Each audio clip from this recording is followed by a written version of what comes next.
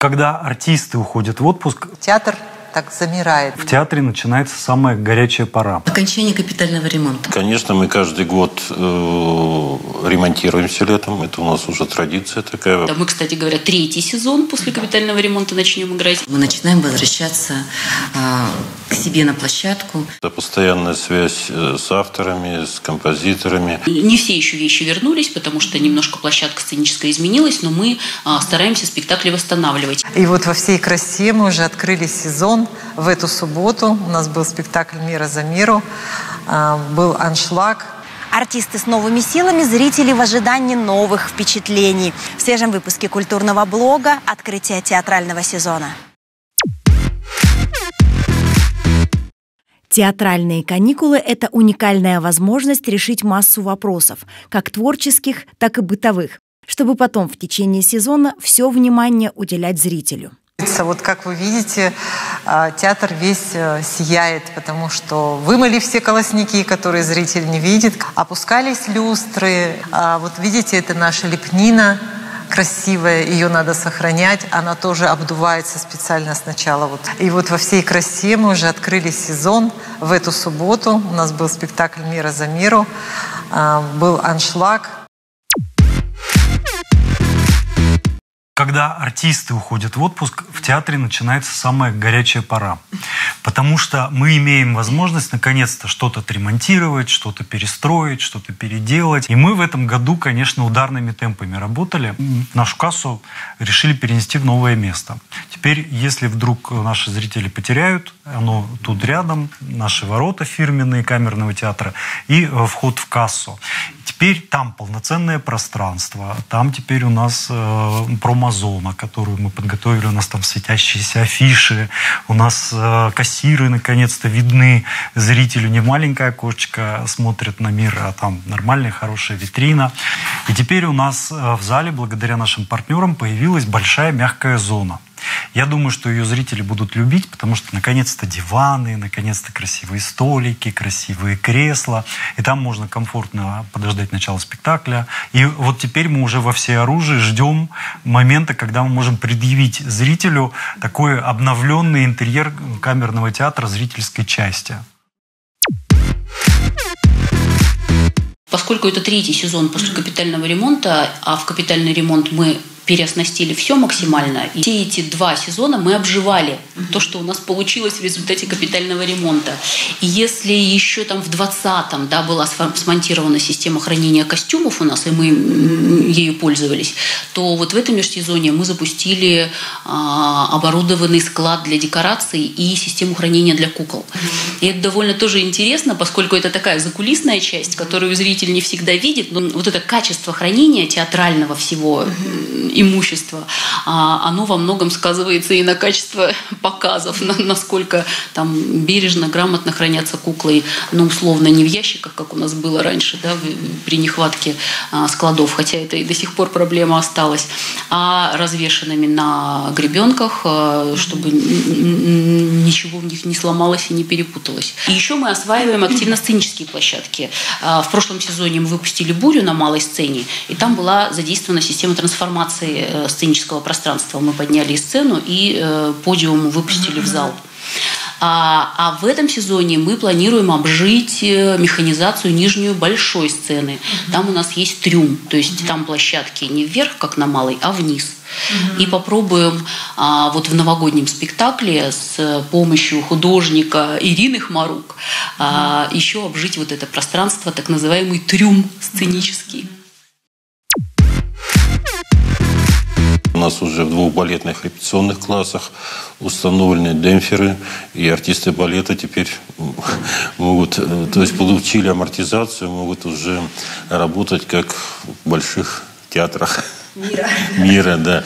Закончен ремонт служебного корпуса, который мы весь прошлый сезон практически э, делали. Отремонтировали 7 гримерок служебных помещений. Мы заканчиваем ремонт кассового зала. В этом году, может быть, не такие масштабные, не такие заметные для зрителя моменты, но на самом деле их много. Хочу сказать просто еще одну историю. Которые вот именно для зрителей мы делаем. У нас есть уже одна ниша, это музыкальная шкатулка, у нас есть костюмная галерея, музей осталась одна ниша незаполненная. И вот там мы попытаемся сделать инсталляцию с нейросетью. Вот, она будет посвящена Алым парусам. Я пока не буду подробности рассказывать, но э, это все будет до этого. Театре драмы имени Наума Орлова подготовка к новому сезону совпала с финальной стадией масштабной реконструкции. Мы начинаем возвращаться а, к себе на площадку, к себе на сцену. Мы сейчас будем собирать все декорации, которые у нас разбросаны по всему Челябинску, возвращать их к себе, ремонтировать. Открываемся мы 10 октября премьерой «Королем Лиром». А, Дальше у нас в планах на малой сцене премьера «Собачье сердце». К Новому году а, мы также будем адаптировать на нашей сцене спектакль для всей семьи э, «Площадь картонных часов». А, ну и э, дальнейшие планы мы расскажем чуть попозже. А сейчас нам этого больше, чем достаточно, потому что очень много времени мы будем как раз посвящать возвращению репертуара к себе на площадку. Что касается непосредственно творчества, то сезон 24-25 обещает быть особенно насыщенным.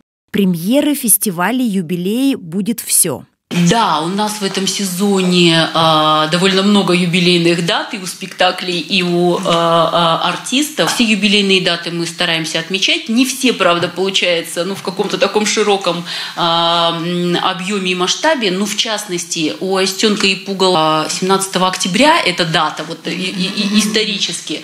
А мы как раз начнем в это время фестиваль свой девятый, Соломенный жаворонок. 10 городов, 11 коллективов коллективов мы привезем в Челябинск. Это традиционно лучшие театральные коллективы, лучшие кукольные спектакли. А, в этот раз у нас получилось сделать афишу международную. У нас будет коллектив из Китая, а, из Белоруссии, из Казахстана. Афиша очень интересная. Она и с классическими а, произведениями, со спектаклями по классическим произведениям, и современные авторы. С 17 по 21 октября пройдет девятый фестиваль «Соломин соломенный жаворонок. Да, мы традиционно в этот сезон а, выпустим четыре новых спектакля. А, ну вот буквально на столе у меня к техническому совету готовится эскизная часть и макетная часть э, «Собачки Сони». А, это такая знаменитая история, очень полюбившаяся театром кукол и мультипликации, надо сказать, про умную собачку Сони по произведениям, по сказкам Андрея Усачева. Мы ее готовим к выпуску в ноябре. А после ноябрьской премьеры традиционно зайдем в новогоднюю кампанию. Новогодний спектакль в этот раз у нас тоже новый. Это сказка иностранного автора а, «Маленький Дед Мороз». А в следующем году мы э, выпустим спектакль на военную тематику, э, поскольку следующий год юбилейной победы в Великой Отечественной войне. Ну и вот с такими планами мы этот сезон начинаем. В Театре оперы и балета с 4 по 29 сентября состоится первый фестиваль мировых премьер музыкальных театров страны. Фестиваль пройдет с 4 по 29 сентября. Первый спектакль будет это «Сатьяграха» Екатеринбургского театра. Вот. Чувашский государственный театр оперы и балета «Волга» э, опера представит спектакль э, «Главный вопрос». Вот как раз здесь все связано с, в первую очередь с нейросетью. Это и музыка, это и костюмы, это и механическое животное, которое будет бегать по сцене. Наш театр представляет два спектакля. Э, это «Беспреданница». Первая постановка здесь у нас э, в России. Второй спектакль, также известный, это «Матахари», последняя премьера нашего э, прошлого театрального сезона. Кроме этого, приедет Государственный камерный музыкальный театр Санкт-Петербург «Опера». Они показывают спектакль «Иван Грозный». Хабаровский краевой академический театр привезет мюзикл. Первый бал Наташи Ростовой. В общем, очень красивый, очень костюмированный спектакль. Много танцев, много движения. Театр балета Касаткина и Василева. Вот они тоже сделали очень оригинальную постановку к юбилею Пушкина. Э, Пушкин «Сны после жизни». Вот такой фестиваль. Надеемся, что он пройдет хорошо и станет, еще раз говорю, визитной карточкой нашего города.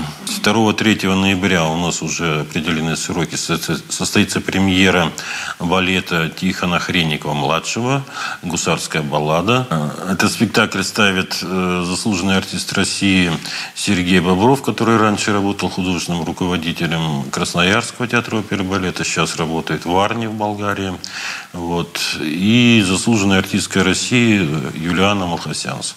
Вот. Ну и большая, большая работа, которая уже идет, ну, если не год, то, ну, в крайнем случае, месяцев 8 точно. То есть это Петр Первый, э, опера, э, где написано оригинальное либретто, где написана оригинальная музыка.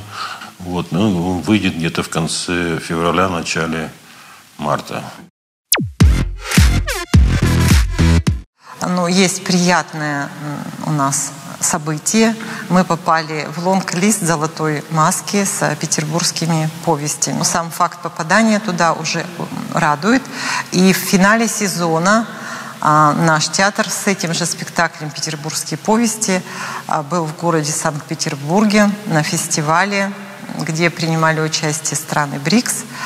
И в самом сердце Петербурга, в театре «Эрмитаж» мы показывали вот петербургские повести. 21 и 22 сентября молодежный театр представляет масштабный спектакль «Муркины сказки» по произведениям Корнея Чуковского. 60 костюмов спектакле. Когда я узнала количество, я сказала, ну мы же не оперный театр, ну куда столько цеха?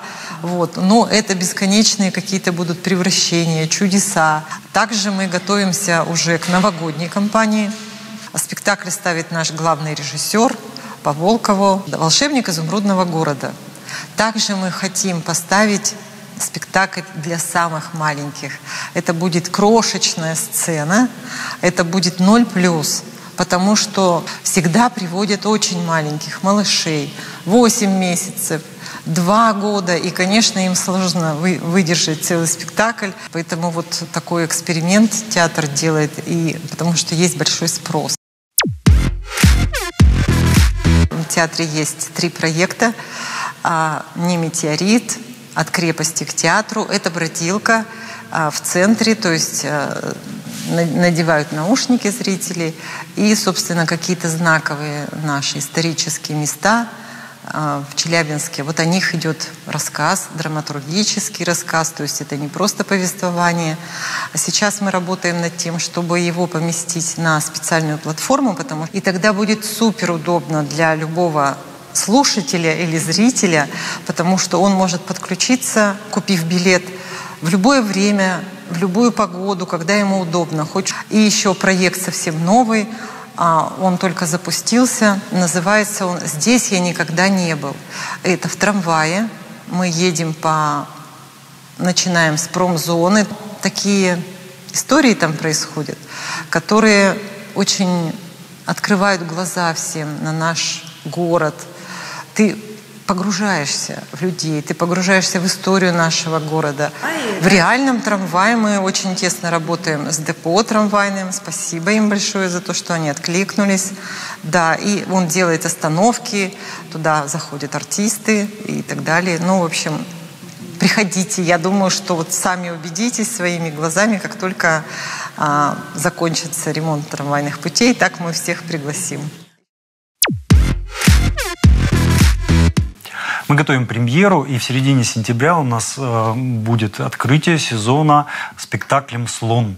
К нам приезжает Михаил Каргопольцев, это молодой режиссер, который взял пьесу советского периода.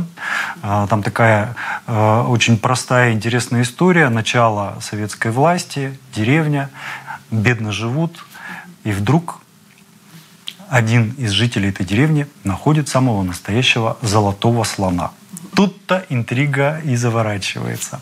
Вот. А дальше мы уже э, начали репетировать спектакль нашего главного режиссера Виктории Николаевны Мещаниновой э, «Кто такой месье Шмидт?». Вот. Это такая французская пьеса. Она как любит Виктория Николаевна, конечно же, необычное. Э, взаимоотношения внутри семьи, смещение времени внутри пьесы, когда ты вдруг не понимаешь, когда происходит это действие, и даже сам, сами герои не понимают, как они из одного пространства перемещаются в другое. Но, конечно, по большому счету это будет разговор о главном. Новый год мы тоже уже планируем. У нас э, не будет новой пьесы, у нас э, будет э, фестиваль наших детских спектаклей, мы будем показывать спектакли разных лет, но мы сейчас думаем о том, что будет происходить в фойе. То есть, конечно, Дед Мороз и Снегурочка появятся, и встреча с ними состоится, но мы сейчас размышляем о том, что в фойе должно состояться некое интерактивное световое лазерное шоу. Новый сезон камерный театр начинает и с новым логотипом. Вместо черного куба эмблемой станет ангел Камерата. Скоро и на фасаде к открытию сезона появится новый светящийся логотип, новая вывеска. Зритель увидит это, а, проезжая по улице Цвиллинга. Какие-то спектакли мы выпускали не на своей площадке, соответственно, тоже их надо адаптировать на нашу сцену. Возвращаем а, «Продавца дождя», «Старшего сына», спектакли, которые всегда очень любил наш зритель, а, «Дикая утка», «Королевские игры», «Безымянная звезда», ну и еще перечень некоторых спектаклей. Открываемся мы 10 октября. Сейчас у нас э, репетируется спектакль э, «Король Лир». Делает э, замечательный режиссер Екатерина Половцева, а, замечательный художник Алексей Ватиков. Работа такая очень большая, серьезная. А, на моей памяти с точки зрения а, декорации это самая масштабная работа. Представляете, как нашим цехам не просто возвращать спектакли репертуарные, еще и выпускать новый спектакль, тем более такой сложный. Он сложный с точки зрения и декорации, и костюмов. Заняты большая часть э, мужская нашей труппы, а в главной роли народный артист Борис Николаевич Петров. Э, я очень надеюсь, что откроем мы театральный сезон после долгой разлуки со своей сцены э, хорошим, таким качественным, грандиозным спектаклем.